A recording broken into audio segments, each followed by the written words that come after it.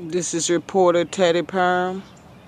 She had moved a little convertible car out of the yard, which apparently was illegal, one of the fifth vehicles, and she still got the van sitting there.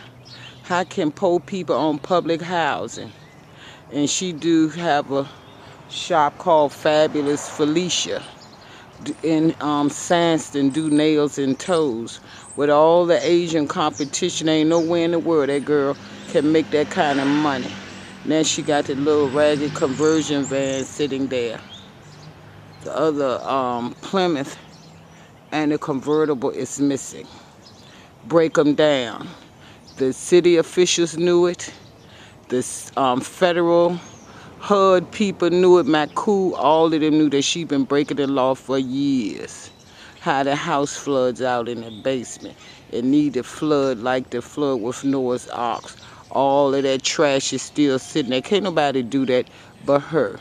She trashing the alley. This stuff gonna come on across the alley. But it'll be okay for her.